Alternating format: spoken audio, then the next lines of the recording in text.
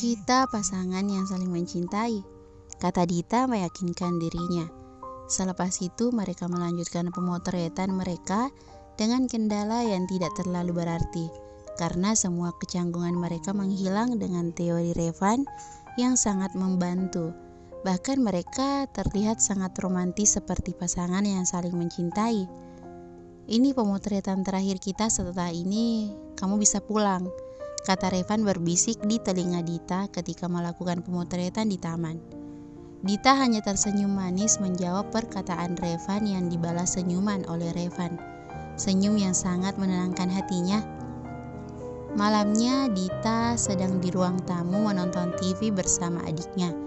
Namun dia tidak memperhatikan tayangan di depan malah melamun mengingat kejadian yang tadi ketika pemotretan dia merasakan kenyamanan bersama Revan.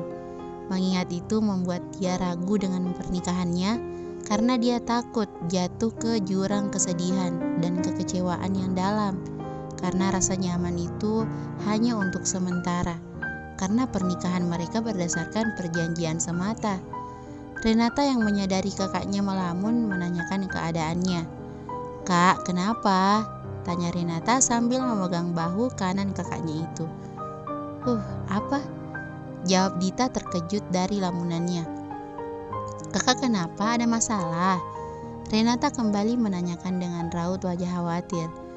Enggak, kakak cuma kepikiran soal pernikahan kakak yang tinggal sebentar lagi, kata Dita menenangkan adiknya yang terlihat khawatir. Kakak tenang aja, Kak Revan dan keluarganya sangat baik sama kakak. Dan jangan terlalu dipikirkan nanti, kakak bisa sakit sebelum acara lagi. Besok tante sama paman akan ke sini untuk membantu persiapan kakak katanya. Kakak hanya perlu tenang dan jangan memikirkan yang aneh-aneh. Kakak harus bahagia dengan langkah hidup kakak selanjutnya. Karena Allah mengirimkan jodoh yang baik untuk orang yang baik juga. Kata Renata menenangkan dan menyemangati kakaknya. Terima kasih adikku sayang. Kakak bakalan kangen sama kamu setelah menikah nanti karena nggak ada adik kakak yang lucu lagi. Kamu yakin nggak mau tinggal sama kakak atau sama bundanya Revan? Kata Dita sambil memeluk adiknya itu. Aku ingin tinggal di sini saja kak, rumah penuh kenangan keluarga kita. Aku nggak mengganggu pengantin baru dengan tinggal di rumah kalian dan melihat kalian mesra-mesra yang menyebabkan keadaan jomblo semakin terasa kesendirian dan kesepiannya. Kata Renata dengan sedikit menyindir. kamu lucu deh. Kakak nggak yakin kamu jomblo pasti bohong ya. Kata Dita dengan menggoda adiknya. Kakak sudah deh. Dita langsung membelakangi kakaknya dengan muka cemberut. Ya sudah, tapi kamu yakin tinggal di sini sendiri? Kakak sedikit khawatir. Tanyanya lagi. Kakak tenang, aku bisa mandiri dan aku akan minta salah satu temanku untuk tinggal di sini nemenin aku. Jadi kakak jangan khawatir kata Renata meyakinkan kakaknya. Pagi indah yang cerah dengan bunyi kicau burung langit biru dengan awan berarakan.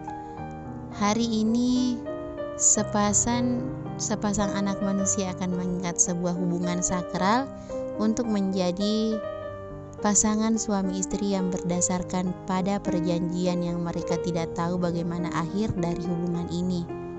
Akad nikah dilakukan di sebuah di sebuah rumah Revan, di rumah Revan karena Bunda Revan sudah mengatur semua persiapan di sana. Dan untuk resepsi langsung dilaksanakan sore sampai malam di sebuah hotel milik keluarga Revan. Dita sedang berada di sebuah kamar setelah dirias di ruangan itu bersama adiknya Renata dan sepupu Revan Zia. Walaupun pernikahan ini hanya berdasarkan perjanjiannya dengan Revan, tapi Dita tetap mengalami kegugupan yang luar biasa karena walau bagaimanapun ini tetap pernikahan yang resmi dan sah menurutnya dan ini pengalaman pertamanya. Renata dan Sia beberapa kali menyemangati Dita namun Dita tetap gugup padahal Dita tidak harus sebe se di sebelah Revan ketika ijab kabul. Namun dia tetap takut dengan keadaan sekarang. Tidak lama Bunda Revan masuk ke kamar menjemput Dita dan mengatakan ijab kabul sudah selesai. Yang berarti Dita harus resmi Dita sudah resmi menjadi seorang istri, seorang yang baru dia kenal beberapa bulan ini. Ayo sayang kita ke bawah, ijab kabulnya sudah selesai. Sekarang kamu sudah menjadi menantu bunda dan istri dari anak bunda yang menyebalkan itu. Kata bunda Revan dengan sedikit candaannya. Iya bun, kata Dita sambil menahan tawa mendengar candaan dari mertuanya tersebut yang sedikit menghilangkan kegugupannya. Dia turun ke tempat ijab kabul dengan Bunda Revan di sampingnya dan Renata dan Renata Sia ada di belakangnya di sana. Dia melihat, dia bisa melihat Revan lelaki yang sudah menjadi suaminya. Dita duduk di samping Revan dan mencium tangan Revan seperti adat seorang istri yang menghormati suami dan Revan yang mencium keningnya lama membuat jantung Dita berdetak tak karuan dan dia merasakan kenyamanan dalam setiap sentuhan Revan. Bahkan Revan memandangnya dalam, seperti ingin menyampaikan sesuatu yang Dita tidak tahu itu. Flashback Revan Revan baru saja menyelesaikan ijab kabul dengan kegugupan yang luar biasa sekarang. Dia menunggu Dita turun dari kamarnya dengan dijemput bunda. Revan melihat Dita diundang di Undangkan tangga di tercengang, dia tercengang dengan kecantikan Dita. Walau itu hari berubah menjadi seorang yang tidak dikenalinya, dia sangat cantik. Bahkan mata Revan lepas dari Dita. Bahkan untuk berkedip pun sepertinya Revan tidak ingin melewatkan kecantikan seorang wanita yang sekarang berstatus sebagai istrinya. Dia tidak menyangka wanita yang dia bawa dalam perjanjian pernikahan ini begitu sangat cantik. Tiba-tiba Revan menggelengkan kepalanya sepertinya aku sedang sakit karena bilang Dita cantik. Batin Revan meyakinkan hati dari logikanya. Dita hanya wanita yang dia manfaatkan untuk menjadi istrinya selama setahun. Setelah itu mereka tidak ada hubungan lagi. Bat, hubungan batin Revan lagi dengan semakin meyakinkan hatinya. Sekarang Dita ada di sampingnya dan mencium tangannya lagi. Ada perasaan aneh ketika dia mencium tangannya. Sebenarnya apa yang terjadi dengan dirinya? Kenapa yang sudah lama tidak ditemukannya lagi dan lalu dia melihat mata Dita yang indah dan memancarkan ketulusan. Lalu dia mencium kening Dita.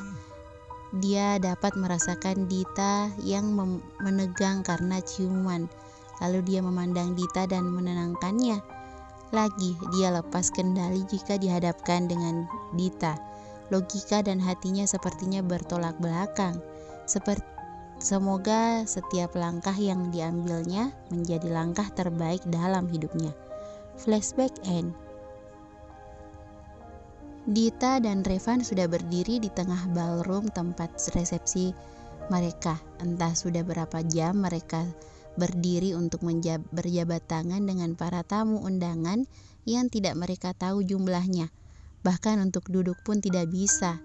Malam menjelang tamu tidak banyak.